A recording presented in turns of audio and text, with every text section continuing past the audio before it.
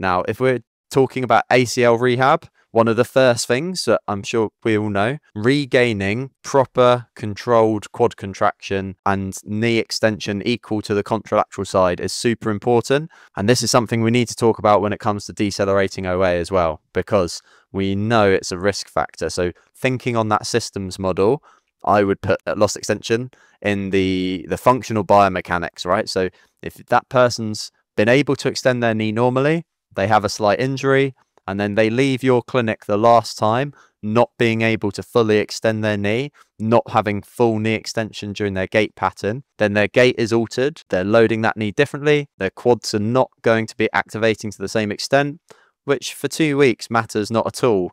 But in 10 years, 20 years, this certainly is not going to be ideal if we're wanting to put our foot on the brake of decelerating OA. This data is from the, the US, the Osteoarthritis Initiative. involves, um, I always think with knee OA research or knee research is a great way to double your sample size because this is from um, 8,667, I believe, knees, followed up over nine years. And they grouped people into those people who had no flexion contracture. So they could lock, get their affected knee straight, uh, and those people who couldn't.